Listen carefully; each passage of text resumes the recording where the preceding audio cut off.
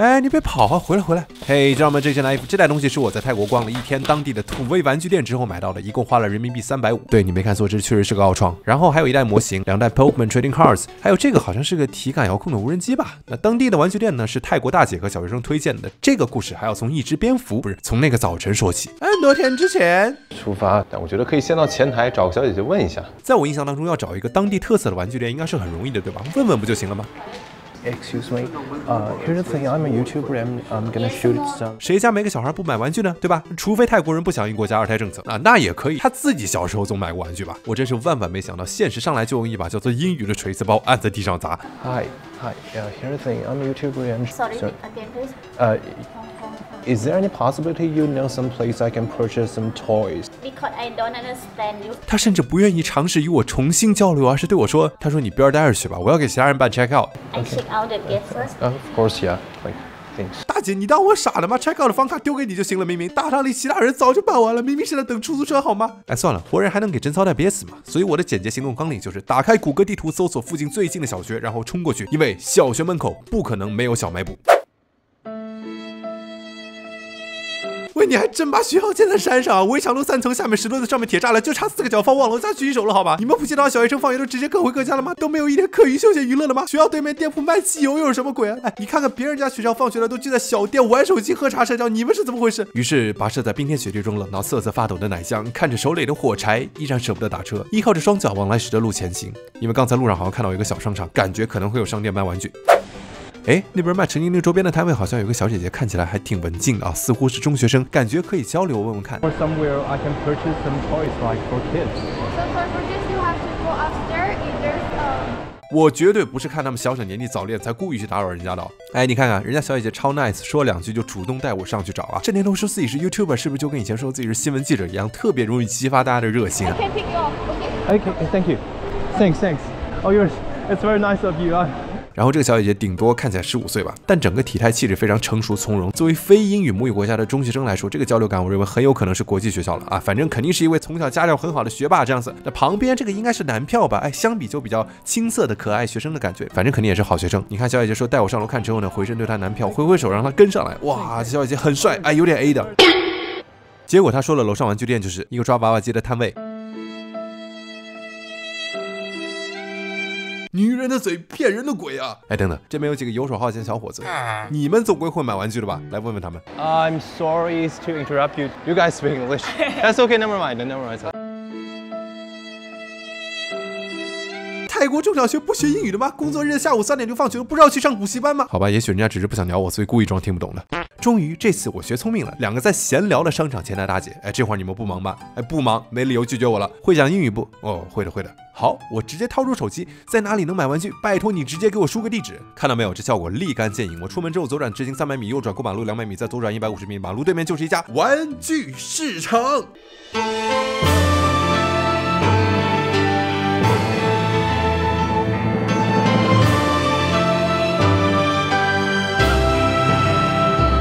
你他娘的，给我解释解释，什么他娘的叫他娘的天堂？这气派到吓人，庞大而不失整齐的货架上摆放着蒸羊羔、蒸熊掌、蒸鹿尾，不是吉他、贝斯、电子琴、BB 枪、软弹枪、吸盘枪、防乐高、假乐高、山寨乐高、悠球、保龄球、玻璃弹球、芭比娃娃、变形娃娃、充气娃娃、山地车、越野车、公交车、大巴车、去幼儿园的车，以及这自助式无人打扰的轻松的购物环境。哎哎，不是人呢？怎么没人啊？你们这么大个店扔这儿也不怕货架都被人拆走了？还有你们泰国当地的市场让一个只会说缅甸语的老姐看店有什么操作？得亏那时候疫情还没爆发，不然我这手机岂不要用五十六摄氏度的双黄连消毒半个小时啊？不过好歹在用谷歌翻译交流了一顿之后呢，我知道了一个好消息和一个坏消息。坏消息是这边是一个批发市场，所有东西起码都是九个一板组在一起，而且还不能拆开卖。来这边一般都是下线的那些小店铺的店主过来采购啊，拿回去卖的。哎，我买文具捡垃圾一个可以一次捡九个一样的回去，我就算买得起行李箱也放不下呀！啊，你问我好消息是什么？好消息就是谷歌翻译的语音识别确实挺好用的。无奈之下，忍痛放弃。还好店员小姐姐说隔壁那家店可以买，于是我离开这个被中国产澄海出口货填满的批发市场，来到了这个被中国产澄海出口货填充的零售市场。这家店面规模更大，货物的种类和价格区间跨度更广，忙着采购的店主也明显更多，大家都洋溢着鼠年新年的气氛。哎，好像哪里不太对。哎，就是说嘛，什么年代了，谁要一次进那么多小商品回去卖嘛？当然是要走丰富产品线的路子啊，对不对？这一家店的品类数量就能吊打三家反斗城加两家哈姆雷斯。虽然肯定没有涛哥家玩具多，你卖架子鼓很正常，哎，不错。有滑板非常溜，哎，牛逼。你怎么连热熔胶都卖啊？好吧，最后买了这个自行车模型和这只无人机，是不是很可爱嘛？就是结账的时候还真没想到，这无人机打完折还有一千泰铢，人民币两百多的。嗨，看完了接地气的玩具，我想回去之前再最后去看一下之前那个小姐姐说过的，可以去本地最大的 festival 商场看一看。那么问题来了，这么冷的天，打车又贵，好几公里，应该怎么去呢？怎么去呢？怎么去呢？日晒或是风吹，路边那朵蔷薇，关掉了手机，管他谁是谁。哎，我玩具店呢？我放这这么大一个玩具店呢，哪儿去了？人与人之间的信任呢？说好了玩具店呢？说好了你们都在这边买玩具了，连个连锁的玩具店都没有。大哥，别这样。女人的嘴骗人的鬼，不买了，回家。之前在最后挣扎一下，我在街边上这个迪卡侬篮球场看到有小一点的、年纪小一点的学生在打篮球，我去找他们问一下。I'm a YouTuber and I'm looking for some place to purchase some toys. YouTuber? Yeah, yeah, right. My my name. Yeah. Uh, I'm from China and here's my channel. Uh, sorry. I'm shooting toys reviews. Just guys, please, do you know somewhere I can purchase some toys? You know, I mean the small stores uh, or cheaper. Uh, and not play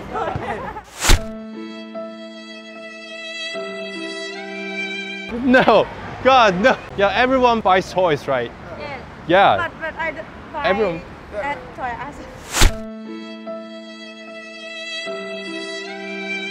Wow, wow, you guys are so rich. เฮ้ย ร้านอันนี้ไง ตรงข้ามกับไทยหัว Help me typing the maybe the English name or. Yes. oh yeah, thanks. Thank you. Thank you. Thank you so much. Welcome. Have a nice day. Bye bye.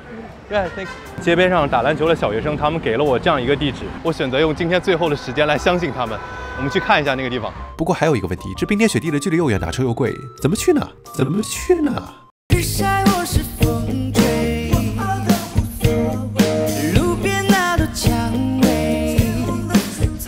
啊，就是这里的呢。原来是一家模型店，跟国内的非常类似。可惜一进门，老板就说不让拍，而且全程都有一个店员在后面跟着我。哇，干嘛呀？怕人偷东西吗？我真的好烦这种啊！最后在这家店人民币二十多买到两袋正品的 Pokemon 卡，以及一只泰铢两百块，也就是人民币五十左右的奥创，对。五十块钱，我当时真的没细看，回酒店拆包装，我才发现，哎，上面这个孩之宝的 logo 是好玩，呃，没错，是汉语拼音。最搞笑的是，这只奥创的包装上面还有一个老的价格标签，写着四百九十九泰铢，可能是因为太多年都无人问津了，老板才降价又贴了一个一百九十九上去。啊，为啥这么推测呢？因为我拆开那个声光功能电视仓，我发现电池已经漏液锈蚀了，我的天！至于这个玩具本身呢，啊，这个脸，你们看看像不像大力哥？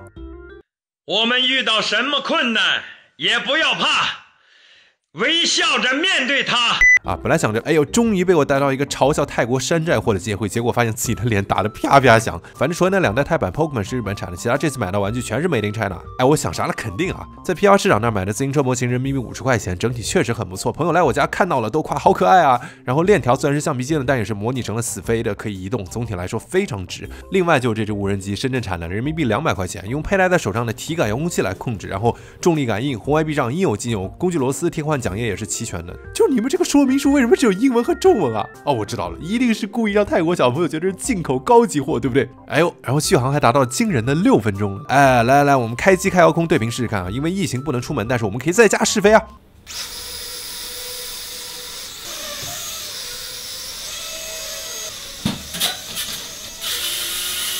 虽然说它会精准的往我机箱后面的线里钻，虽然说它没有顶部避障，所以一直会往天花板上顶着飞。虽然说我试了半天也没成功弄懂它的体感，但是我被它的坚强打动了。它丢出去就能自动起机，桨叶和电池盖掉了，依然在坚持工作。甚至你可以用它来邀请你喜欢的人，你可以对他说：“来我家玩不？我家的猫不是我家的无人机会后空翻。”哇哇！曾经自己像浮萍一样无依，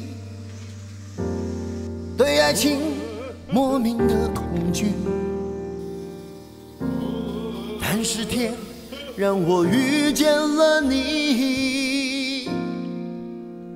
总而言之，就是我们大约可以预测啊，泰国大部分玩具市场果然也是被国货占据了。不管是澄海兵工厂还是深圳制造，都是让人不得不服啊。或许他们也和国内一样，实体店经营受到了电商的冲击啊，但是我也没办法定论了。毕竟从这一天的见闻来看，他们玩的东西还是比较经典的，包括 Pokemon 和游戏王，随时都可以看到街边有一桌人在对战。这个场景可能是在被手机游戏血洗的国内，很多朋友从小到大都没见过的。不知道来泰国开桌游吧有没有搞头啊？好吧，那本期视频内容就是这样子，然后感谢各位的陪伴，祝各位待在家里都能吃好喝好玩好。这是 Naive，我们下期视频再见啦拜拜。